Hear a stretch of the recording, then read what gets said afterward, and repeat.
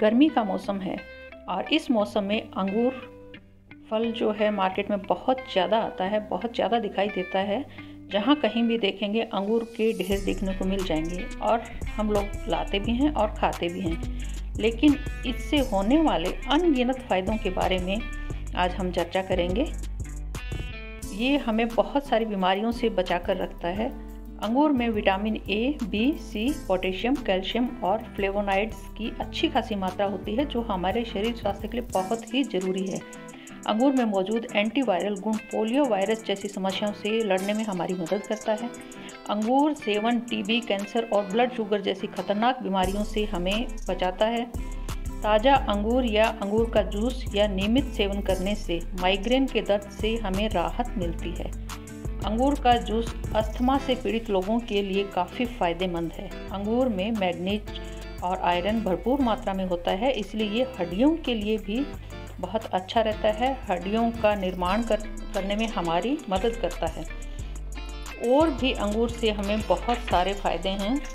अगर हम इसका नियमित रूप से सेवन करें तो। अंगूर में एंटीऑक्सीडेंट, एंटीवायरल एंटीबैक्टीरियल गुण पाए जाते हैं। ये सामान्य सर्दी जुकाम फ्लू बुखार से हमें बचाते हैं। अंगूर के जूस या अंगूर के सेवन से हाई ब्लड प्रेशर नियंत्रित रहता है। इसमें फाइबर की भी भरपूर मात्रा होती है तो पेट भी साफ़ रहता है और आंतें भी मज़बूत। इसके सेवन से हमारी त्वचा की जो झुरियाँ हैं वो जल्दी नहीं आती। त्वचा स्वस्थ रहती है, साफ़ सुथरी रहती है, इससे झुरियाँ, झाइयाँ और किल मुहासे से निजात भी मिलती है। अंगूर के सेवन से हमारा हार्ट भी स्वस्थ रहता, हार्ट भी स्वस्थ रहता है और किडनी भी। और रोग प्रतिरोधक क्षमता जो है इम्यूनिटी सिस्टम जो है, वो भी मज़बूत रहता है। तो अंगूर का सेवन हमारे लिए बहुत ही फ़ायदेमंद रहता है गर्मी के मौसम में।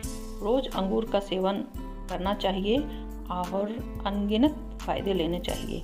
लेकिन जब भी आप अंगूर खाएँ, ताज़ा खाएँ, खाने से पहले नमक मिले पानी में या मीठा सोडा डालकर थोड़ा पानी में 15 मिनट के लिए अंगूर जो है पानी में डुबो कर रख दें और फिर थोड़ा सा मसल कर इन्हें साफ़ पानी से धो लें।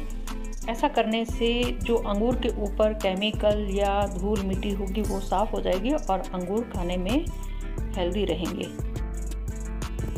तो आज की मेरी ये वीडियो आपको कैसी लगी? लाइक कमेंट सब्सक्राइब शेयर ज़रूर करें। नमस्कार।